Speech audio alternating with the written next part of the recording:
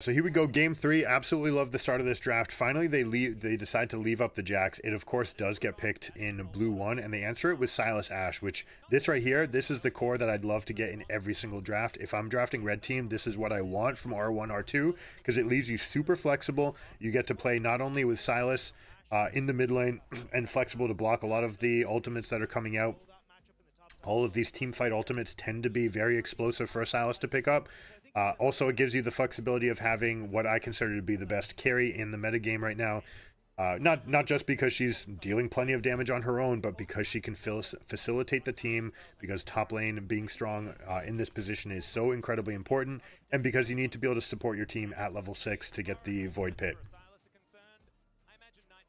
We see the Gnar again. This time it's going to be Jax into Gnar, and and this has been you know bin versus bin. We'll see whether or not Doran can take this to another level, whether or not we see any kind of play that's used to manipulate. Uh, we talked about the differences in the execution, whether or not we can actually finish that dive against the against the solo weak sider. The first game, it was a good job zoning where they stepped so far forward, Elk and On did, where they kept Alistar away from the turret.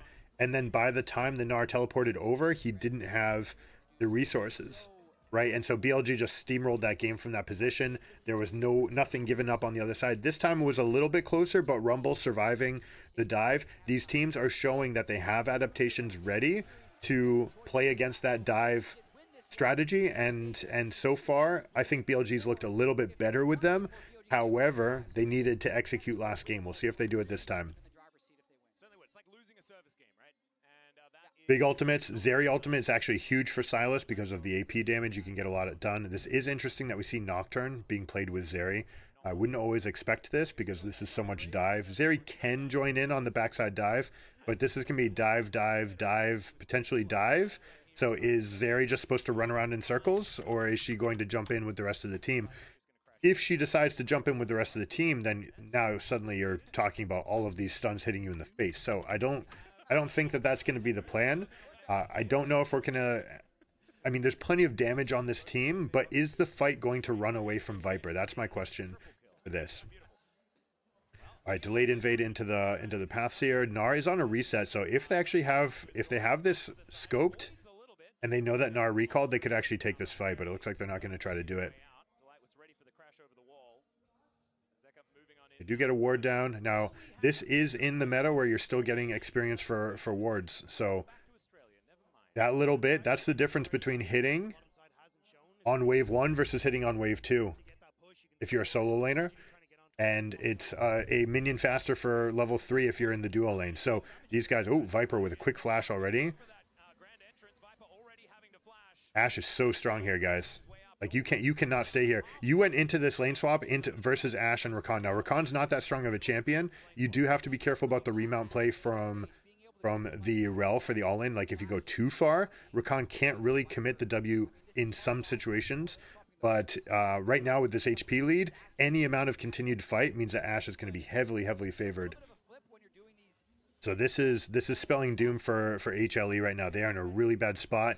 The question is going to be, do they have a punish ready? Nocturne's going for three camps on the blue side, so he could go for this, but notice that you already have that ward down. Uh, they will have insight to that, and it looks like Nocturne's just going to go cross map into a power farm. Uh, expect him to go Raptors, Krugs, Red to try to get the resets on the mini camps.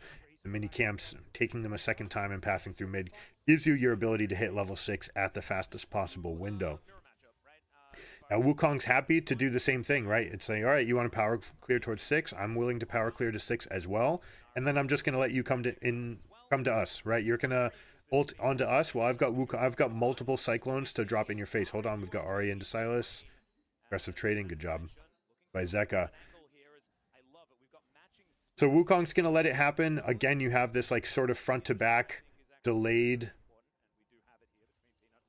uh, delayed brawling, you know, step back kiting sort of team where you've got heavies in the front. Rakan's going to join up with them. Ash is going to be lining up behind them. They don't need to commit to any fight. And in fact, they don't really have the best way to reach for a fight unless it comes from a flank, right? You do have all the Sylas options, right? So you could make him tanky. You can make him jump the back line, again, jump the back line, or you can play front to back. uh, or if it gets in the middle of a big fight and you think that it's just going to be dive versus dive, then the Rell and Jax ultimates are going to be fantastic in those spots. So they're more than likely not going to try to like steal Nocturne ult and just turn this back on them. They're just they're just going to say, "Hey, we win the brawls. Let's just brawl." You want to move on to us? We've got this Rakan.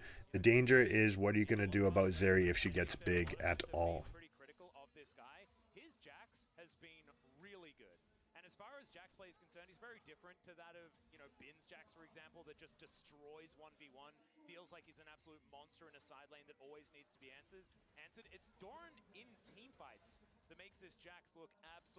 All right, Gnar, Gnar has himself a little bit of an advantage, as you're supposed to have in this matchup. Jax goes for short trades with the Grasp here.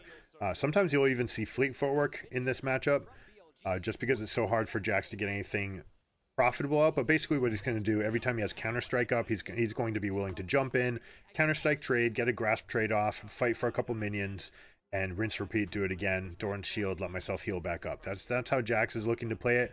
Gnar is trying to stack up as many grasps as possible and poke this Jax in the face as much as possible. We go here. We see a little bit of a play, but it's a little bit of a bait. Heal down and they reposition. Now Wukong, level 5, is going to have the base stats here with his passive to feel really strong. Uh, but Ashe is really the one that's carrying this fight right now. Ashe is the premium champion pre-6 and level 6, right? If you're talking about which which AD carry would I like to like make plays and skirmish with, it's always going to be this. If you don't have access to like Kalista for just the sheer out damage potential. Elk took taking a tower shot there. That's you don't want that. You do not want to trade resources like that when you're in such a big leading position. Nocturne's going to be hitting six, but it's going to be on the other side of the map, so Ashe does not need to feel concerned about it. Let's see, they're starting to move Rakan and Wukong together. Ashe tries to get this push. Now, this right here is a preemptive roam timer. I absolutely love this movement together. Ashe is feeling healthy enough, but really shouldn't be. Um, is still just on the Doran's Blade. I'm concerned for the Ashe right now. They have gotten a rebound for themselves. Maybe what they're trying to say is, hey, we can hold on to this position and basically force Zeri to be the one to go first. But Zeri, Zeri already has too many items, so she's feeling okay right now in this position. And she has the cleanse and flash available too, so she's feeling really strong being able to push into this, which means that BLG actually has to give up the priority here for the grub. So I don't know how they ended up in this in this spot. It feels like Ashe should have found a way to get back into base. Uh, maybe getting a little bit greedy with the uh, freezing sequence, which is something that happens a lot. If you are not careful, if you try to freeze and the enemy team already has a prepared aggressive play, they say, okay, congrats, like walk the lane back there. That's where I want you to be anyways, because I'm going to go take the void grubs. So a little bit of an imprecision there from BLG. I wouldn't even see a little. That's that's something that you probably need to fix going forward in the in the in the series. Now they are going to trade Dragon here. Looks like Nocturne actually skipped his bot side, saying that he wants to go for the respawn on Wolves and Blue, which should be enough. That will be level 6 for him off of those two camps. And importantly, he'll have the blue buff for the lower cooldown. So there may be a moment they're going to start picking a fight on the blue side. You see this? They're taking this fight as Nocturne hits six. So you're trying to get chunk down. Wow, it feels like they could have gotten a pick there. It's so hard to jump on Rakan because of double dash range. Let's see, do they go for it again now? This has to be it. This all right, there you go. They committed the dash. Now you press the R. You notice how they waited. All it took was one spell forward is all it took for HLE to pull the trigger. And this right here is because they thought the jungler was on the bot side. I can guarantee you BLG thought that Nocturne was pathing this way and that it would take him another 30 seconds to get into position. So that aggressive trading should have been a hallmark or should have been a herald that the play was on and BLG should have adjusted, but they didn't. They get punished. Expertly done by HLE. You notice that the moment that Rakan used his W to go forward was the moment that both these champions pressed their R. It was that. And that's the level. When you want to exploit, you wait for that play, you, you collapse on the mistake. They don't know it's a mistake yet. And only once they press the button are they doomed. So really, really well done by HLE. Uh, BLG leaving a lot to be desired right now, and especially Elk. Elk has, he missed one of his timers and now he's weaker now, right? He's playing on. This is still just on Doran's blade, right? He's getting super greedy for his first for his first buy, and uh, and it means that they end up trading a significant amount back. You know, tanking the turret as well, like super super effective there.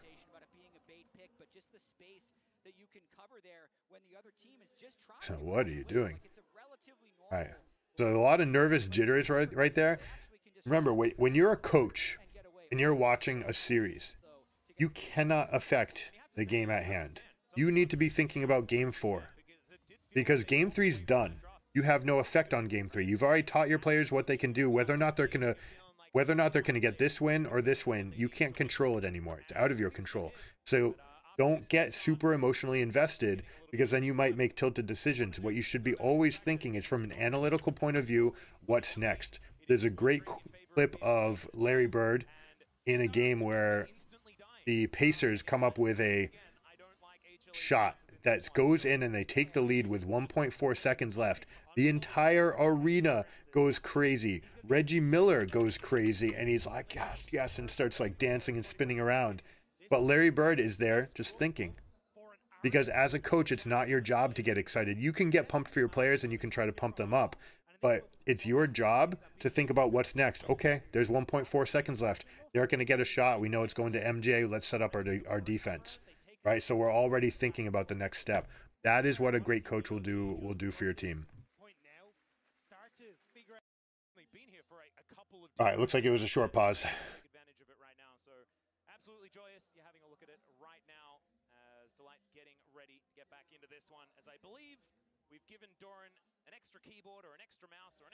Just a uh, peripheral issue.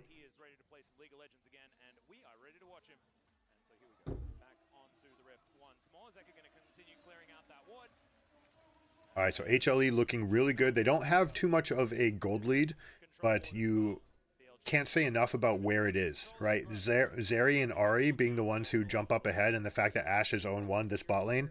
Basically, you're relegating these guys into just full support mode for the rest of the game that puts all of the pressure on Sylas to be a carry. And that's not the easiest thing to do right? You need you need fights to already be blowing up. You want you want to come into like a really messy situation as a Sylas and be able to blow up with your AoE uh, if that messy situation shows up then it might just be curtains for your team already. That said Ashe is the best carry in the game to play from behind. Because you can just play super safe you can play back you can just cast your W's and and hope for like a Statikk Shiv proc here and there. Like th- those little bits of chips on damage can be the difference between whether or not you get in and out of the fight. Now, what I don't want necessarily from this Ashe is for them to continue down like a Kraken Slayer route, because if they go, if they go Kraken Slayer, for example, then you're stuck where you are the weakest player in the entire game and you're trying to deal carry damage it's a dicey situation. Do you, do you just abandon ship and go straight for the support of like Black Cleaver Runaan's Hurricane split? That's something that is always available for an Ashe. They can always audible into that spot. They might may decide that hey, no, we still we're gonna need every bit of damage when they come into come into our position. We need to be able to hold them down and still be able to rip someone apart, especially if it's this guy. So you may still see Phantom Dancer uh, come out from this from the Ashe because they feel like they need to be able to reposition in a fight versus a Nocturne who's diving them. It's a little bit of a trap because you can never truly get away from this combination, especially if they go for the Stride Breaker, which is the most common uh, build for Nocturne, but who knows? We, we don't know exactly how they're going to play out. You see the beginnings of the items coming out. Going to see spikes here from HLE.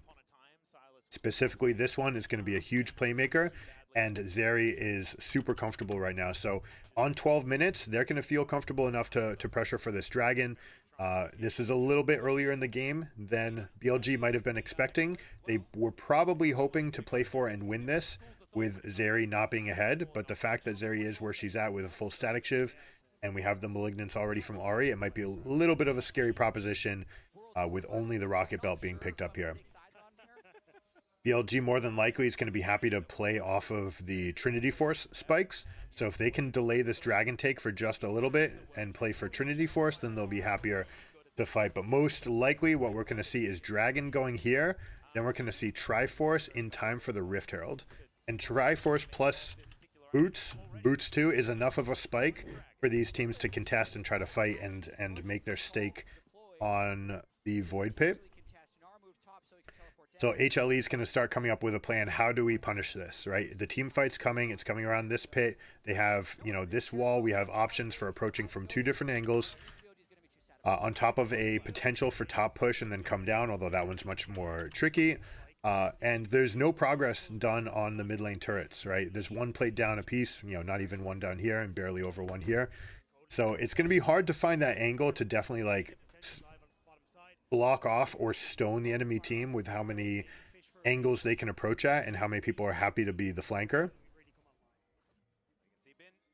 So they're going to want to be very precise, HLE, with their wave control. They want to make sure that if they're being contested, that enemy team is losing waves, right? So you're going to see mid lane prio, top lane prio. They're going to focus on this. Ahri's down bottom, though, with no teleport.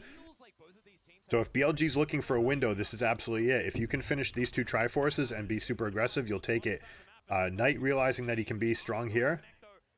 Has the Ahri ultimate. Now, he might be willing to slide over. I don't want to take see him go any further here. I want to see him rotate up right now. Ahri's going to have to recall, and she's going to have to recall and run straight there. If she does anything but that, then they're going to be punished.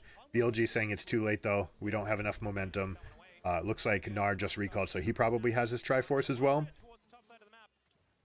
But they, this is what we talked about from HLE. As long as your lanes are in an adequate spot, there's not going to be enough of a punish.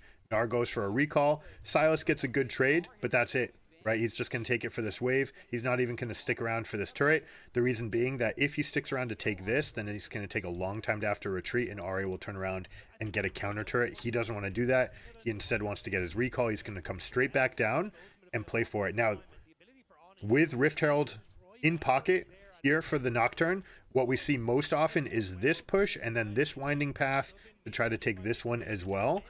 And we've seen some structured defenses ready to do this, but uh, Knight did not place any wards in preparation for this play. So it looks like they just won't be there. Sylas is deciding instead to just defend. You see the pings right now already on the bot, bot side turret.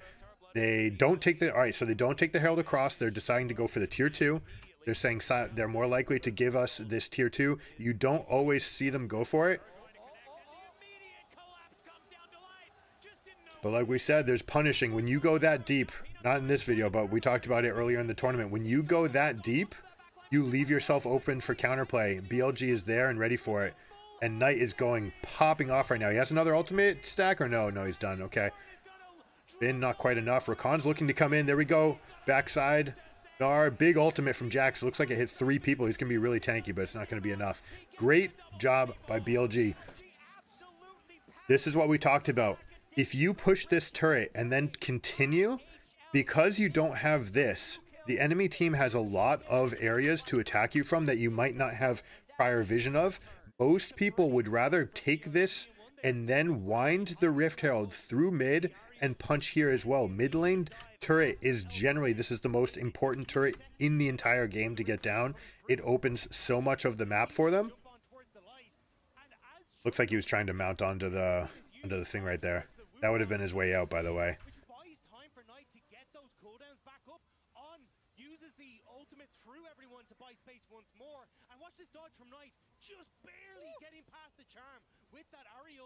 Buying a little bit of time, you get a couple extra cooldowns. You see the reposition in the fight.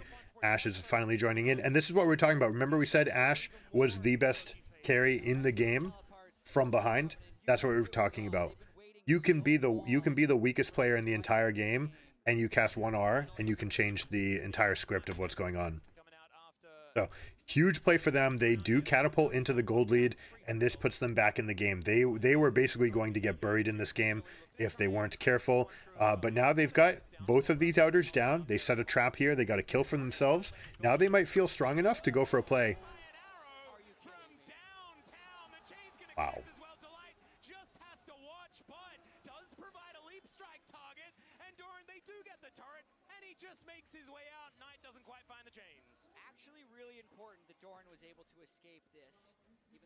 Super important that he's able to escape. Dragon's up in 31 seconds. If you die right there, then you're giving up the dragon as well, on top of all the gold, plus the rebounding waves. Now, if you're BLG, don't be disappointed. And the moment that you stop thinking about how to grow and like how to progress in the game and how to problem solve, then that's when the other team jumps ahead. If you stop and say, "Oh man, I wish we had got that kill. We didn't get that kill." That's living in the past. Always think forward. They're taking the positive. Okay, okay, he used everything to get out. Get out. That was his ultimate counter strike. He jumped out. We know he's going to be recalling. We can take that momentum and push it up further. Get a little bit more. Get top prio. Force the enemy team to come here and answer. And now we can still be in a position and still get something. If they just retreat and say, "Oh man, I wish I wish our play had gone better," you may not get this. But instead, they continue forward they force and answer here, which means now they're also getting Ahri's teleport, which means so they've gotten a lot more resources from the play, and they're still here in a position where they may want to take this fight. Now the question is, do they actually want to versus this Liandry's? I don't think so, but uh, Ahri, you know, Sylas picking up the Ahri ult is is a big deal. He's got the ability to dash forward, triple dash, and get uh, consolidated fights. Ashe being the setup.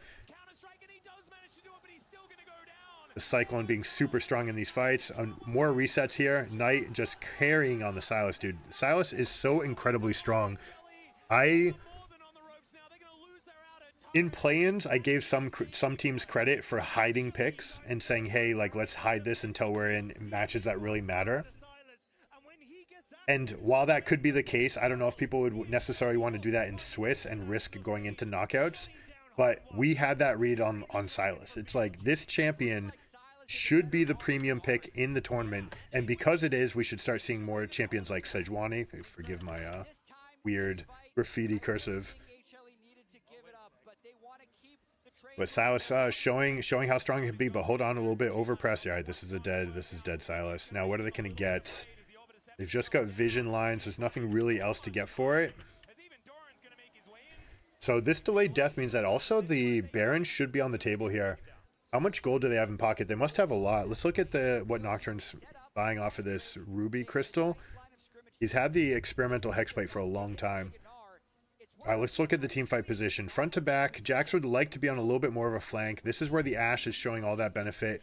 And they get the effect onto Jax, and they know that Jax has no ultimate, right? So Little bit, slight misplay though. They could have won that by even more. It looks like they tried to split up to try to start repealing and get more, uh, guarantee the kill onto the carry. But the thing is, Jax has this uh, one pesky ability that stops carry damage from hitting him.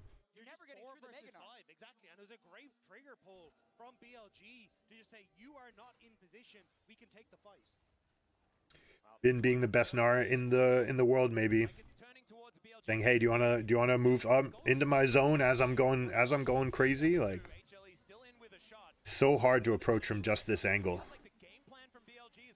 Now, interesting map, right? We have the mountain map, which is going to favor this team that wants to be dove into, right? Sylas wants long, drawn-out fights. You have Double Conqueror. The Double Conqueror is going to like it. Plus, you have HP stacking with Graspierre.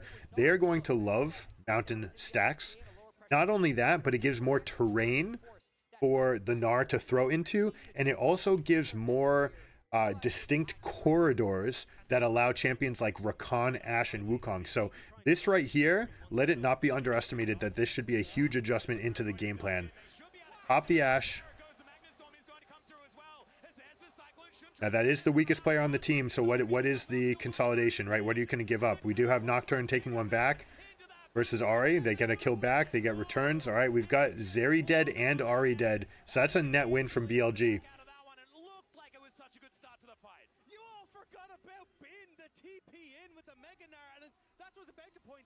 He was nearly 3,000 gold ahead of Doran on a side lane. 3,000 gold ahead right there. This guy's hard carrying. He's like, if you're if you are catching anybody but me, it does not count.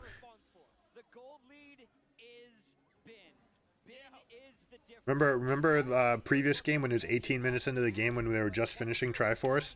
This game there had two completed items at 22 minutes. Slightly different narrative. Look at this position. You peel off a little bit. You accept that Ashe is going to die, and you continue the fight here. Right? They've used all their resources. You say, all right, we continue. We've got Conqueror. We're going to be really happy in a spot like this. Now, it is late. You see that he teleports at the very end of this. He teleports in with with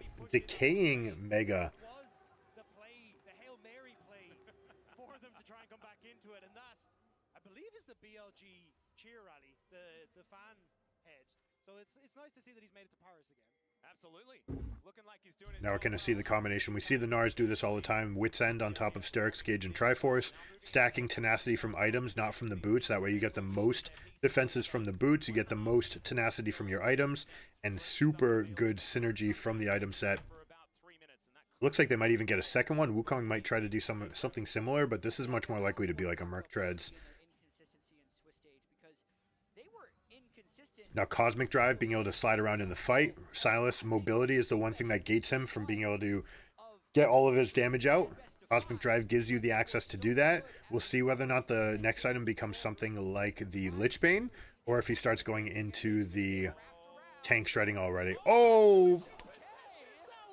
Ships passing in the night. That was wild.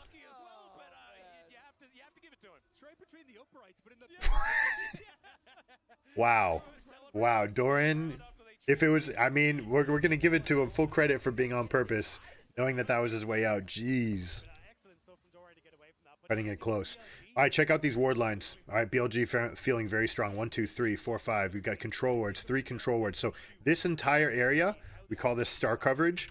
When you put out star coverage, it's saying we are living and dying by this area of the map. We're going to control this quadrant if we can, and by layering two different spots and wards, you end up with the deep line and the shallow line. So you know when people are going into the into that zone, but also if they try to exit and do anything aggressive, you're going to have the head start on them.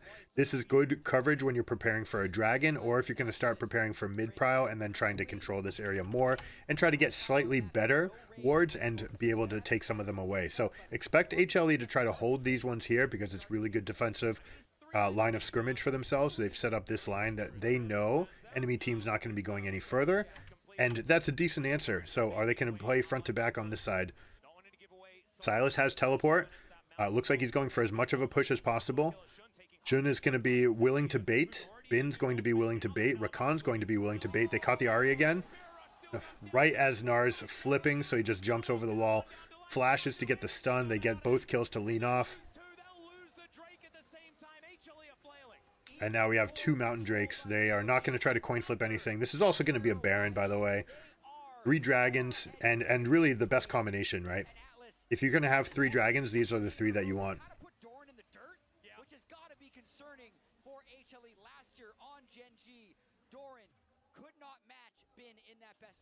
This is uh same narrative as last year. This guy top diff. Doran is a great player, and he's been playing above expectations.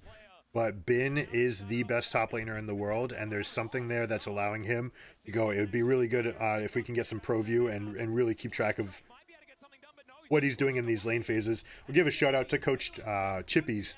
He does he has access to the pro view vods, and he does a good job of breaking down what these champions do, what the, how these players are playing the matchups, and he just did a video on Bin. He did one last year as well. It'll be really exciting to watch what he what he comes up with with this matchup. Make sure you guys check him out.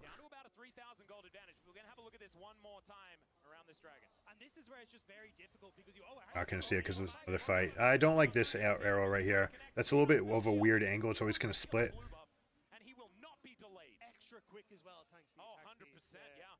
But cool. It's a uh, short cooldown, short-ish cooldown. Mid prio, sliding over. Top prio, sliding over. Uh, Wukong pathing towards the bot side, so a little bit of a syncopation right here. Rakan in a really aggressive spot based on where the Wukong is at. Uh, they have teleport available, and the Gnar is raging out right now. So this would that that would have been the window. HLE may not have known it, but that was the window to try to jump on the Rakan and try to get something out of him. Get his flash at the very least, and if you can get his flash, then maybe he doesn't have it up for this Baron fight. Uh, but they didn't realize how how weak the Rakan was. But that's one of the things that we have spoken about with what is the next level. If if League of Legends is being played at a 2500 ELO level, what does 2700 look like? Because there there comes a point where leveling your opponent and doing things that are unexpected just gets beat by what is the best play. But if you can shake up their tendencies where they can't just do the best play like in chess, it's not not all the information's on the board all the time. right? There is there are hidden variables. So if On realizes, hey, three of my champions, even though they're nowhere near here, they are in fog. So as long as they're in fog, and I can assume that my enemies don't know where they're pathing, I can play aggressively. We're winning. I can step up. So this position by by the Rakan, even though he had one member here, one member here, one member here, only Sylas was showing on the map at that moment. And so you wonder, enemy team has to wonder, is this the trap? Like, are they trying to bait me in for the fight right now? I don't know if I can take this Rakan because if we spend any amount of resources on a Rakan, like we absolutely get blown up in the fight. So very, very smart play. I love seeing these adaptations and and recognize them and give credit to these people for it. They know this is starting to become more and more of a known quantity of playing playing with supposed strength, playing with range advantage, if you want to use the poker term. The fact that I am under the gun raising means that I'm strong, right? The fact that I'm standing on your beach as a support means that my team must be strong, right? And if you do it all the time, then maybe a, a scout or, or a good game plan can punish you for it. But as long as you're using it in the right spots and you're being not predictable with it, then there should be some answers, or there should be a lot to to gain from those. So the biggest thing it does is it buys time. Your split pushers are going into the side lane. We've got level 16s across them. We're going to try to get it from the Ashe as well. Uh, Ashe is a champion again. Now, Infinity Edge, I'm not sure. Ashe is a weird champion because they have a, they have a differentiation, like they have a different effect on on crit strikes with the increased slow, being being measured by their by their criticals. So I'm interested by this Infinity Edge.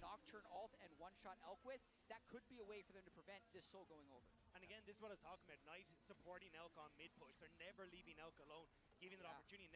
BLG are in position to just See them moving as five, right? Consistently moving together, making it so it's hard for a Nocturne to find any kind of angle. This is what this is where we talked about too. Like in the draft, combining these two champions very very difficult. Now, if you can blow up and get that first early fight, then you you can find something. But you need to get that you need to get that first kill onto a carry. It needs to be. It's not going to happen on Gnar. They try to get onto Gnar right here, but he just moved to the side. All those resources being blown. He has teleport, so and he's just raging out right now. So he still has access to his ultimate. He may just look to recall and then come right back to this fight and take the rest. Uh, expect them to go and play strong, especially through the Sylas here. Hammer to Anvil. Give the Dragon. Yeah, they're going to give Dragon just take the fight. But they, they have to get this position. Hold on. Elk was just ripping into the Jax while he had Counter-Strike open. He just empowered the effect. But look how strong Knight is right now. And he's dodging the Rell in the middle of the hardest choke in the entire game to dodge with. Look at how well he's fighting this, guys. Still dodging. Guys. Sylas with Ahri ultimate. Remember, this Ahri was picked as a counter pick. I believe Syndra was on the board too. So, I mean, again, all right, all right. It's, it's the second time we've we've had to catch ourselves right right here. Zeka does not want to play mages, and this becomes a big weakness if you're not willing to play a certain class of champion. And that's the read on you, then there might be an opportunity to, to get exploited. And right now, this Sylas pick, knowing that Syndra's not going to come out as a counter, is a problem it's a big problem because Syndra would be that cl- that classic canonical like I can poke you out. I have an ultimate that is garbage for you. You can't use the utility from it. You don't get the extra damage from it. We would love to have that ability, but if they don't have it because Zeka doesn't have it, then then you have a big problem. And if that's the case, then you had better be first picking Sylas. Pick Sylas, give them Jax. Like don't don't care because also Doran accomplished on Gnar, right? Like you're fine to play Gnar into Jax. I don't think that there's an iteration in this draft that can't start with taking Sylas if you're HLE. And right now, like that's their that's their win. First pick Sylas.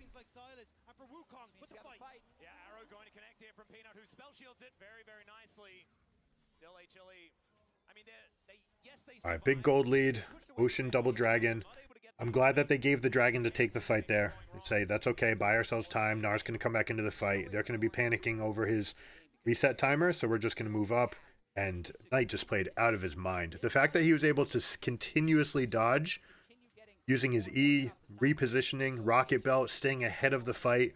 Either Delight gets the absolute god tier engage or the BLG overcommits somewhere. And you've got to do something very quickly because Bin is now in this mid lane. Bin is gapping Doran right now. This is this is a fake item as well. So this is like three and a half items to two. Right? It's not even like this rod and the Seeker's Arm Guard are both barely doing anything right now. So we're talking about a full item and a half lead here for Gnar over Jax. Uh, means that there's no real counterplay to Gnar being in the in the side lane, pushing by himself. You may look for him to go for the hammer right now, hammer to anvil. No, they don't want to reach into this part, especially if they don't have any of the vision yet. You see that their line? See this? Boom. They're connecting. They own everything else on the map, but they don't own this one quartile. And this is good defense. If you're if you're playing professional defense, you say I want to control one area of the map and make it as hard as possible for the enemy team to to aggress into it. I would have liked them to make their stand there. It feels like they're just going to bleed out right now because now, even if they make this play, with all the resources that are down and the fact that the Baron went down, now they can go back and just collect everything and snowball their lead even more. Call it a 10k gold lead. Uh, expect to see the recalls right here, and yeah, that's exactly what they do. By not taking the fight, that was your best chance. Go. JK, they hit a ward in there and they punish them for a bad recall split. Okay, they proved me wrong. Good job by HLE. Sort of like a fanatic bush without being in the bush. They had to time it perfectly, and you have the best tool in the game for punishing a mistake like that. So Ashe is down, but there is no prize. All right, 38 seconds. Ashe will be up in time to get there in position for this. So yes, you do get the kill, but it's not an important one for your team. And you see that she's picked up Seeker's Arm Guard to try to keep herself alive versus the, the repeat later in the game. We have uh, low damage builds here. Sustain, sustain, sustain, sustain. Yeah, staying alive. Everyone, everyone's on this like stay alive plan. Are they gonna have enough damage to to kill a Conqueror Sylas? I don't think so. They're basically all their all their eggs are in this basket. It needs to be Sylas dying to Zeri, and anything else just doesn't work. This Randuin... Well, Randuin's has the AoE slow on top of it. I don't like the item as far as its stats for this game, but the AoE slow could be something that they want, especially since they're trying to get Jax, Ahri, Zeri into good positions.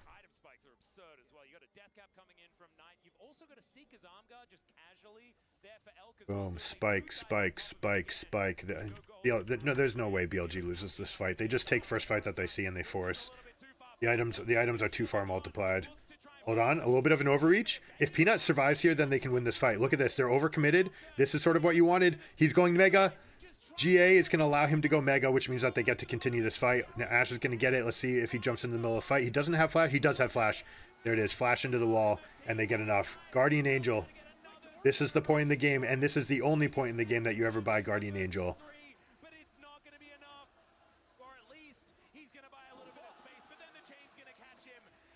27 seconds on death timers. You do have a wave here. They may decide to tank this up. There is a cannon here. It's post 35 minutes, or sorry, post 25 minutes, so there's always going to be cannons in every wave. Uh, they may try to end here. It's just Nocturne and Rell that'll be up in, in position to stop this. This minion wave is going to show up as they're approaching the base. Uh, it's going to be close. They definitely win if they don't go for this but I think that they have it right now, knowing that it's just Rell Nocturne, they can push. This is a little bit risky, you know, within a within a frame of a couple seconds on maybe being being able to turn something around, but it's perfectly calculated. They had two seconds to spare, and uh, they get it done. Well done.